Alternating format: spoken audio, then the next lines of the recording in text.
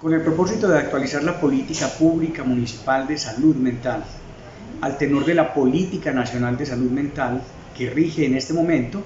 hemos iniciado las reuniones que convocan a diferentes estamentos de la sociedad,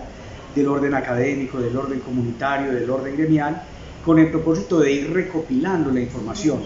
de lo que pretende el municipio de Manizales con la salud mental.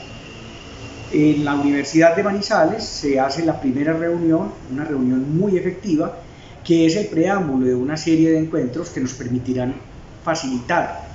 el encuentro de las ideas y el encuentro del diagnóstico de necesidades que requerimos para la solución de nuestros problemas de salud mental.